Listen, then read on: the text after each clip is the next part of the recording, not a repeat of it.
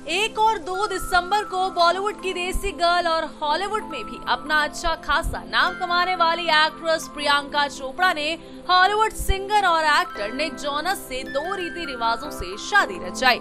आपको बता दें कि शादी रचाने के बाद प्रियंका और निक अपने परिवार वालों के साथ दिल्ली पहुँचे और दिल्ली में प्रियंका और निक ने अपनी शादी का बेहद ही शानदार रिसेप्शन रखा, जिसमें प्रधानमंत्री नरेंद्र मोदी भी शामिल हुए थे। तो वहीं सोशल मीडिया पर एक तस्वीर वायरल हो रही है, जिसमें प्रधानमंत्री मोदी, प्रियंका और निक के साथ ज़ोर ज़ोर से खिलखिलाते हुए नज़र आए हैं। और प्रधानमंत्री मोदी के चेहरे पर साफ़ खुशी भी देखी जा सकती है।